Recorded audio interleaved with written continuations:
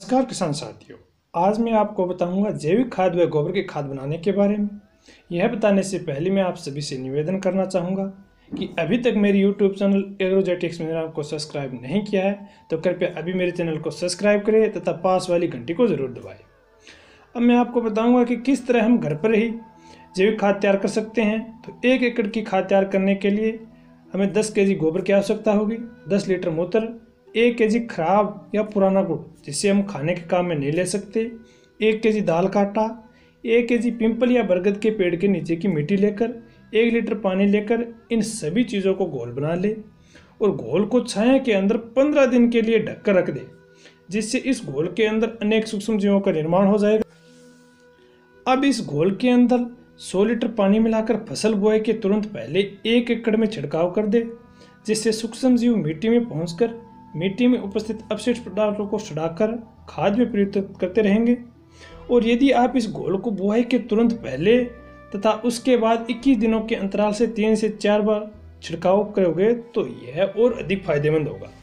और इस घोल का उपयोग हम गोबर की खाद बनाने के लिए जावन या स्टार्टर के रूप में भी प्रयोग कर सकते हैं।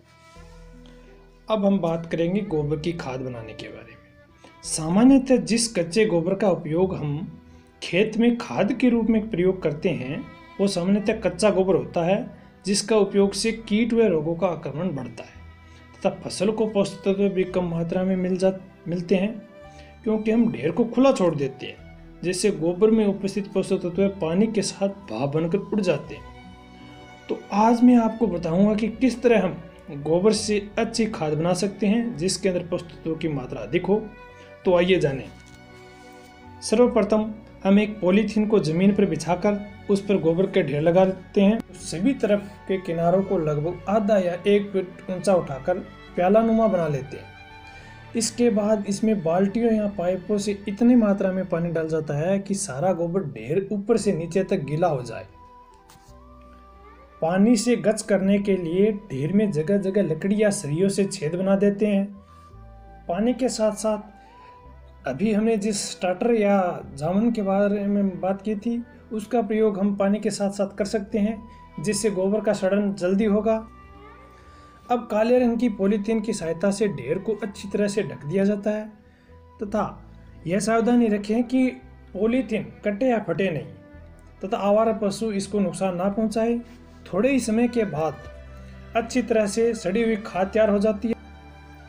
इस प्रकार से तैयार खाद में पोषक तत्वों तथा नमी भरपूर मात्रा में होती है तथा दुर्गंध भी नहीं आती है। परंपरागत खाद तैयार करने में पाँच से आठ महीने लगते हैं, जबकि इस विधि में डेढ़ से दो महीने या तीन महीने में लगभग तैयार हो जाती है। खाद में खरपतवारों व अन्य जो बीज होते हैं, वो सड़कर नष्ट हो जाते हैं तथा पॉलीथीन से ढकने से मेथेन गैस वायुमंडल में नहीं मिलती है, जिससे कारण पर्यावरण शुद्ध रहता है तथा इस खाद का प्रयोग खेत में करने से दिमक का प्रकोप भी कम होता है। उचित मात्रा में तापमान व नमी मिलने से सूक्ष्म जीवाणुओं की सक्रियता पुरानी विधि की तुलना में तीव्र रहती है। अच्छी तरह से गलने व सड़ने के कारण पोषक तत्व शीघ्र व संतुलित मात्रा में फ़सल को मिल तो इस तरह हम गोबर की खाद का निर्माण कर कर फ़सल को पोषक तत्व प्रदान कर सकते हैं तथा पैदावार अधिक से अधिक ले सकते तथा रासायनिक खादों के उपयोग से बच सकते हैं।